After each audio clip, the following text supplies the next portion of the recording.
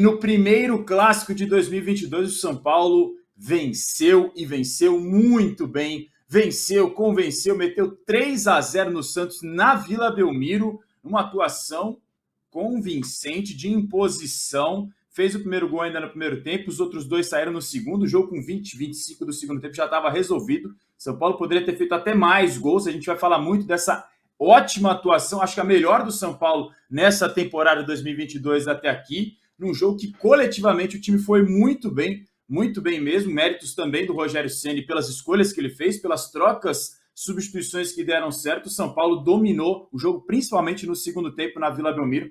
Poderia até ter vencido por mais, dadas as circunstâncias da segunda etapa. Uma senhora vitória para encher de moral e de confiança a equipe que estava pressionada pela vitória do São Bernardo no grupo, mas entrou, fez a sua parte, venceu, diminuiu agora também a, a desvantagem que tem na liderança para o São Bernardo, só três pontos de diferença ali no grupo, e se enche de moral depois dessa primeira vitória em clássicos, o primeiro clássico disputado, o primeiro clássico já vencido pelo São Paulo. A gente sempre entra em campo, sempre que tem pós-jogo do tricolor aqui no All Sport, quando acaba os jogos do São Paulo, do Santos, do Corinthians, do Palmeiras e do Flamengo, a gente entra ao vivo. Desde já peço para você deixar o seu like, se inscrever no canal do All Sport e lembrando que as nossas lives pós-jogo se transformam em análise também em áudio para você ouvir no seu podcast preferido. A nossa enquete está no ar. Quem foi o melhor da vitória do São Paulo no Clássico? Tem quatro opções aqui, mas você pode votar em quem você quiser, porque a gente ficou debatendo, foram tantos destaques individuais e coletivos do São Paulo que fica difícil limitar quatro opções. Você pode votar nas opções que tem aqui, mas escolhe também quem você quiser no nosso chat. Vai mandando que a gente vai registrando a sua participação. São Paulo venceu, convenceu e ele está comigo, como sempre, com a sua camisa estilosa. Fez enquete mais uma vez lá nos stories. Veio com a camisa do. É o Snoopy aí, Menon? Boa noite, seja bem-vindo, São Paulo.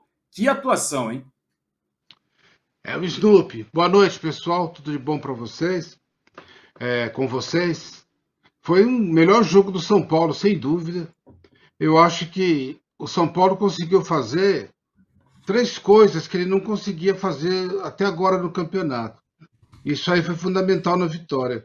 Rogério Ceni no último jogo ele explicou que ele não pode jogar é, com linha, as linhas muito recuadas, que ele não tem, não tem contra-ataque. Ele não tem contra-ataque, então o que ele tem que fazer é construir o jogo, o outro time recua muito, São Paulo domina, troca passes para furar a retranca. Só que o que tinha acontecido até agora, e até aconteceu no primeiro tempo também, o São Paulo não tem um jogador é, tecnicamente brilhante, que quebre as linhas, que, que, que abra o espaço para o companheiro fazer o gol. Então estava tava, tava acontecendo o seguinte: passes muito lentos, muito lentos, e o gol não saía. E hoje o São Paulo ele teve é, melhor passe, né? Conseguiu dominar mais o jogo, ter mais passes, é, mais bem feitos. O, o, segundo gol foi um gol muito bonito, uma troca de passes legal. O São Paulo não tinha mostrado isso, estava com passes muito lentos, sem profundidade. Então o São Paulo teve passe que funcionou, primeiro ponto.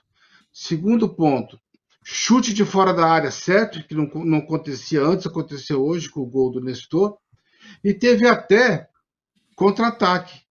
O que o Rogério falou que não tinha, mas ele montou o time no segundo tempo para o contra-ataque, com 1 a 0 Ele colocou o Léo, que é um melhor marcador que o Reinaldo, colocou o Nestor no lugar do Igor Gomes, que é, deixou o meio-campo mais forte, e passou a partir daí, tem até jogadas de contra-ataque, com, é, com Éder, com.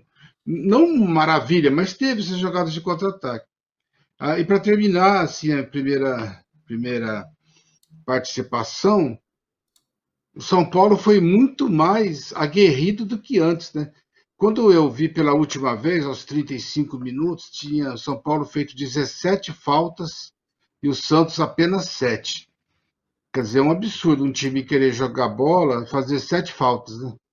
Aí você mostra é que o outro time teve muita facilidade para jogar, né?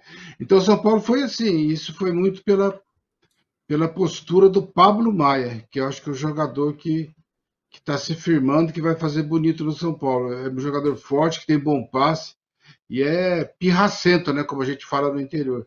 Discute, briga e tudo. Qual